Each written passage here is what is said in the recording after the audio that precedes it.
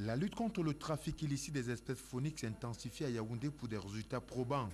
Les personnels du ministère des Forêts et de la Faune en service à l'aéroport international de en collaboration avec les forces de l'ordre, viennent de mettre aux arrêts trois trafiquants présumés de perroquets gris à queue rouge.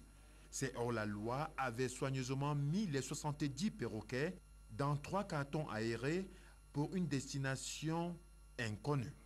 Pour faciliter leur sale besogne, les trafiquants trouvent l'astuce question d'être loin de tout soupçon.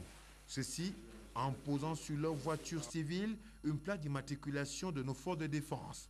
Mais c'était sans compter avec la minutieuse exploitation de l'information par nos forces de l'ordre qui vont réussir à interpeller deux autres complices, soit un total de cinq suspects mis hors d'état de nuire.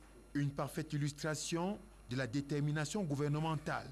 C'est une opération menée avec l'assistance de l'AGA, une organisation non gouvernementale spécialisée dans l'application de la loi phonique. Quant à ces précieux oiseaux, ils ont été conduits et sécurisés aux eaux d'un Vorbeti.